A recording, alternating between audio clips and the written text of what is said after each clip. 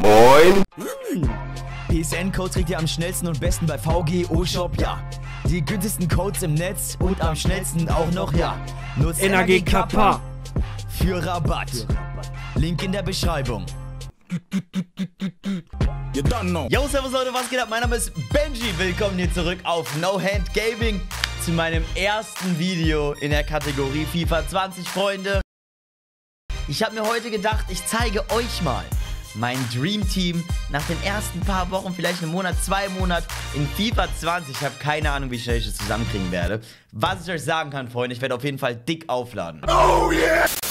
Und deshalb, Freunde, lasst auf jeden Fall mal unter diesem Video einen Daumen nach oben da, wenn ihr Bock habt, dass ich FIFA 20 hier verlose. Ich werde im Laufe des Videos einen Hashtag droppen, den schreibt ihr dann in die Kommentare und dann nehmt ihr automatisch am Gewinnspiel teil. Wäre geil, wenn ihr dem Video natürlich noch ein Like gibt und wenn ihr neu seid, abonniert ihr. Und dann würde ich sagen, starten wir rein hier in Footwiz. Wir sind nicht direkt im Spiel drin. Ich habe mir hier die Seite genommen und baue mir hier mein Team. Wir werden natürlich auch nicht mit der 3-5-2 spielen. Nein, ich habe mir die Formation 4-2-2 rausgesucht, werde aber die nicht in-game spielen, sondern die klassische 4-3-3 wahrscheinlich.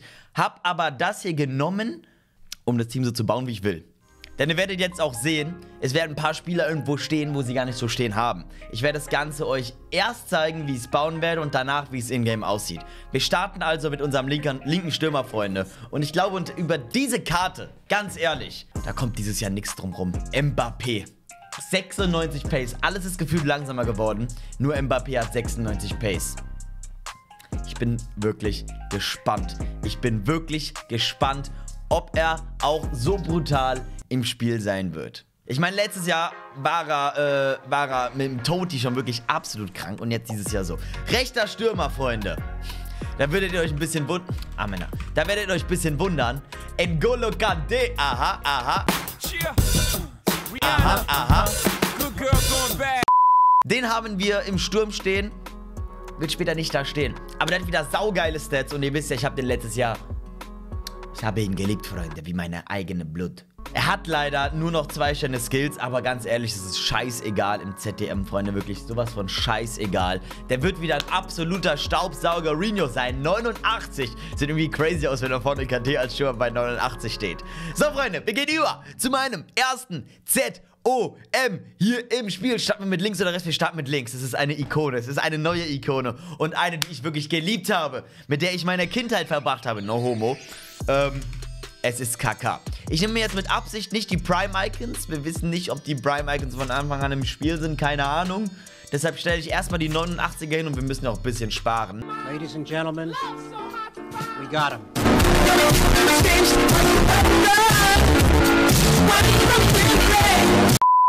Er hat auf jeden Fall dieses Jahr 5 Sterne Skills. Gespielt hat er sich so bisher noch nicht ultra herausragend. Deswegen will ich ihn noch mehr spielen, weil ich weiß, der wird auf jeden Fall was reißen können. Ich finde es ehrlich gesagt eine Frechheit, wie EA den behandelt hat mit den Stats 89 bzw. Prime die 91. Der Kerl war unglaublich.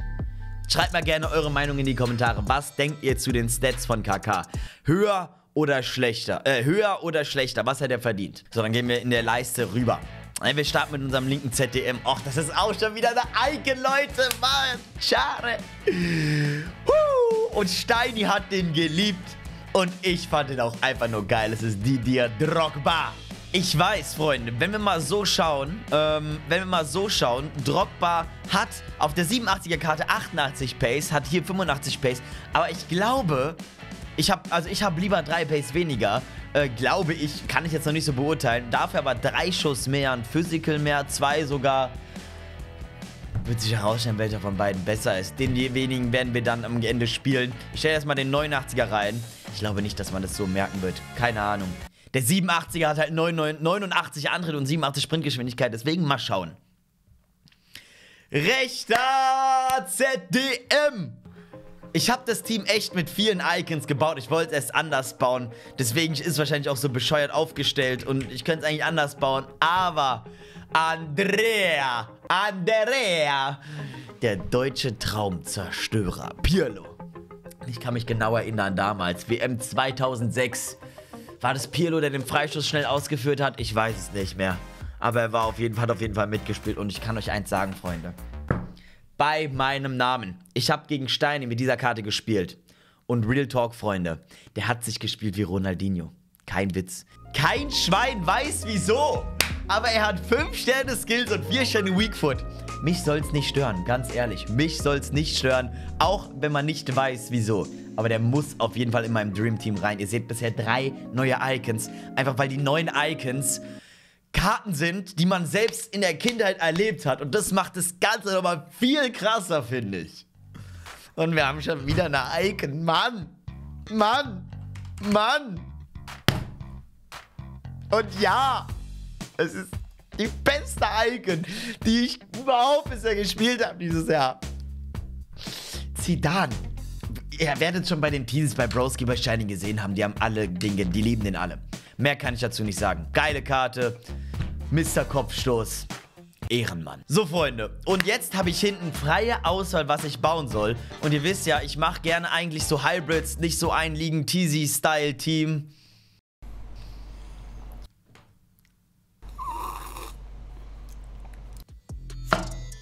Ich baue gerne ein bisschen verrückt. Diesmal ist es nicht ganz so verrückt geworden, aber ich hätte es doch einfach Basic Ramos und Van Dijk hinten reinstellen können. Ich wollte ja mal ein bisschen was Neues probieren, Freunde. Und deshalb gehen wir auf den Linksverteidiger weiter und holen uns erstmal den Stronglink ab, dass er da einfach so stehen kann, wie es ist. Alexandro. Wenn Marcelo besser ist, nehme ich später auch Marcelo. Wir können mal kurz die Stats äh, auch von Marcelo anschauen. Der hat aber dieses Jahr nur 81 Pace. Von daher bin ich gespannt. Deswegen habe ich mich erstmal für Sandro entschieden. Hauptsache, wir haben den Strong-Link, denn wir brauchen den Link hier nach außen später nicht mehr. Und auf der rechten Seite, Freunde, wird wieder der absolute Tank des Jahrhunderts stehen. Kyle Walker, 91 Pace. Ich habe mich für ihn entschieden und nicht für Cancelo entschieden, Freunde. Nein. Oh, Schock. Ich dachte, ich habe jetzt alles weggedrückt.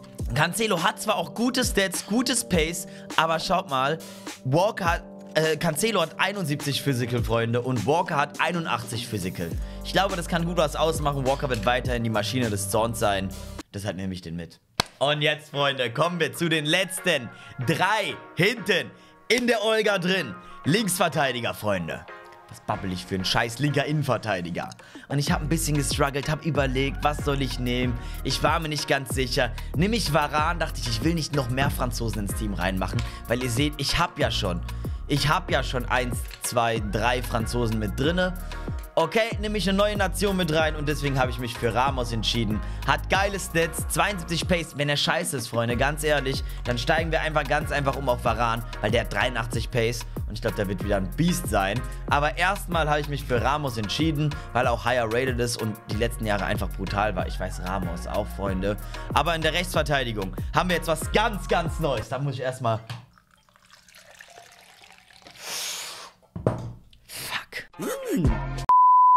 man einmal einen coolen Move fürs Video machen und es geht direkt schief. Ich habe in der rechten Innenverteidigung eine neue Ikone, Freunde. Damit haben wir fünf verdammte Ikonen im Team schon.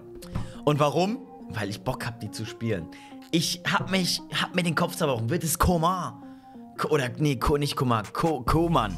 Koman, wie der auch immer ausgesprochen wird. Aber nein, ich habe mich für eine neue Ikone entschieden, die eigentlich zwei Außenverteidigerkarten hat. Carlos Alberto, zwei Rechtsverteidigerkarten, aber dann habe ich die Innenverteidigerkarte gesehen und dachte mir, yo, ist gar nicht so schlecht. Das einzige Problem, was sein könnte, ist, dass er nur 1,80 groß ist. Hat 82 Sprungkraft und 88 Kopfballpräzision. Man weiß es nicht, was da kommen wird. Ansonsten kann man auch andere Spieler hinten reinstellen.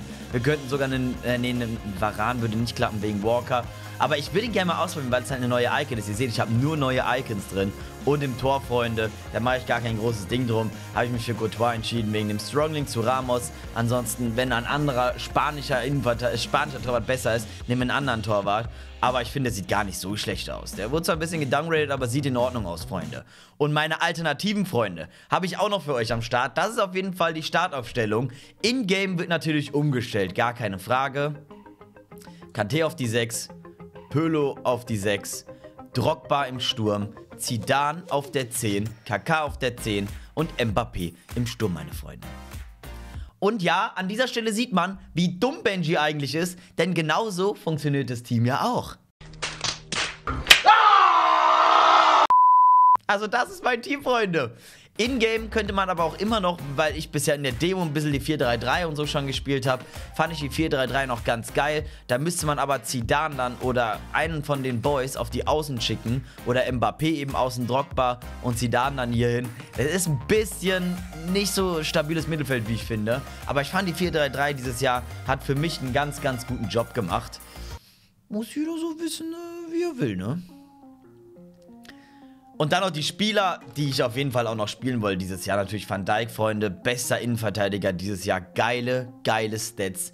Ihr habt bestimmt auch schon die Demo gespielt, da war er bestimmt auch brutal. Ansonsten wundern sich jetzt vielleicht viele, warum ich Cristiano Ronaldo nicht drin habe. Ich hatte einfach Bock auf Mbappé. Ich hatte einfach Bock dieses Jahr auf Mbappé. Wenn Ronaldo besser ist und ich mir leisten kann, versuche ich ihn natürlich einzubauen. Würde so ja auch easy peasy funktionieren, könnte ich ganz einfach ersetzen.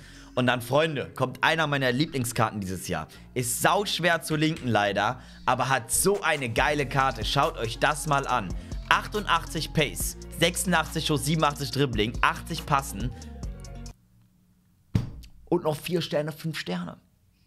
Kann man mal machen. Ich wollte den eigentlich erst. Vorhin hatte ich den mit eingebaut hier in mein Team.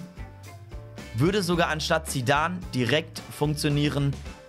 Aber hey Leute, Zidane muss drin sein. Aber Son kann ich jedem nur empfehlen, dass er den mal austestet. Ist eine saugeile Karte. Messi hat dieses Jahr Highest Rated bekommen. Allein wegen seinem geilen Dribbelwert will ich ihn mal wieder spielen dieses Jahr. Rechter Flügel fand ich noch ein bisschen besser aufgehoben als im Zentrum. Meiner Meinung nach letztes Jahr. Wer weiß, wie es dieses Jahr ist. Er hat einen Schuss weniger, nur als Ronaldo.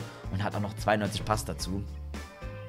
Das ist schon schlecht. Ansonsten habe ich vorhin noch von Varane geredet, Freunde. Da seht ihr die Stats, haben wir vorhin schon reingeguckt. Und haben wir noch zwei neue Icons, die ich auch, die mich haben mich wirklich brutal überzeugt, Freunde. Kein Witz, die haben mich wirklich brutal überzeugt.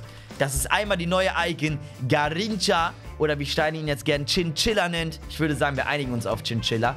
Der hat sich gespielt wie eine wilde Sau, Freunde. 94 Dribbling alleine, 92 Pass, 86 Schuss, 90 Pace. Du geile Sau! Und der habe ich bei Steini gesehen, den habe ich dann auch mal gespielt. Fand ich auch echt eine geile Karte. Hat, soweit ich weiß, nur drei schöne Skills, aber spielt sich richtig gut, meinte Steini. Dalglish, 87 Pace, 90 Schuss, 89 Dribbling. Ist da was drin oder ist da was drin? Alter, sorry, Fehlinformation. Genau deswegen war er geil. Der hat vier schöne Skills und Achtung. 5 Sterne Weakfoot. Schreibt mir in die Kommentare, was ihr zu diesem Team haltet. Ist das möglich, innerhalb von zwei Monaten dieses Team zusammenzukriegen? Ich weiß, die neuen Icons werden brutal teuer, aber ich will, ich muss und ich kann es nicht mehr abwarten, dass das Spiel kommt, Freunde. Schreibt den Hashtag FIFA 20 Hype in die Kommentare rein, wenn ihr FIFA 20 gewinnen wollt. Lasst einen Daumen nach oben da auf das Video. Checkt die anderen Videos auf meinem Kanal aus, wenn ihr neu seid, abonniert gerne und in dem Sinne, ich bin raus.